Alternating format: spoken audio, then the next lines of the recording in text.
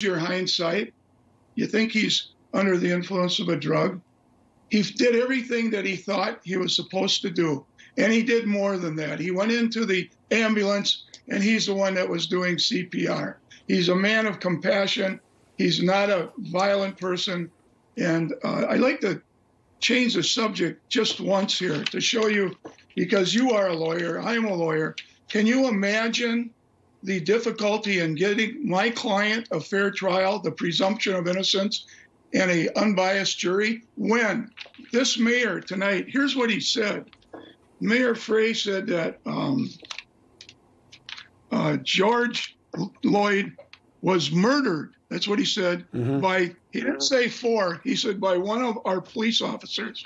What kind of comment is that by any politician who has any semblance of fairness to give a, uh, one of his employees, a police officer, but counselor, counselor. First of all, he's a politician. All right, he's not doing the prosecution; it's going through the attorney general. But uh, listen, you've got to deal with the optics of what we've been able to see.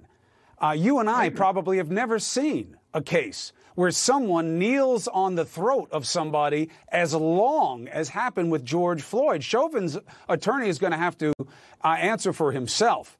But the reason I wanted uh, you on here was to help people understand how something that looks so obviously wrong. Forget about training. You don't need training to be a human being. Citizens weren't supposed to get involved. These officers were supposed to do what was right. And we know, you and I know from all that we've seen, minutes and minutes with this guy with his knee on his neck was wrong. But, counselor, I appreciate you being here to give us insight into what we haven't seen and heard and what is to come. One other, one, just one real quick yes, comment. Okay.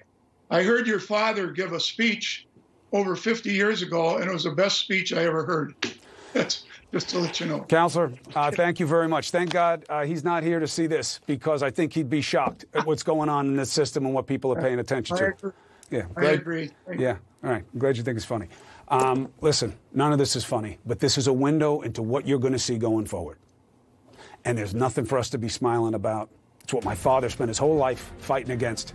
And now we have to fight against it together. Justice is fairness under law. You need to see what this case is going to be based on. There can be no fairness in this society without it. I'll be right back.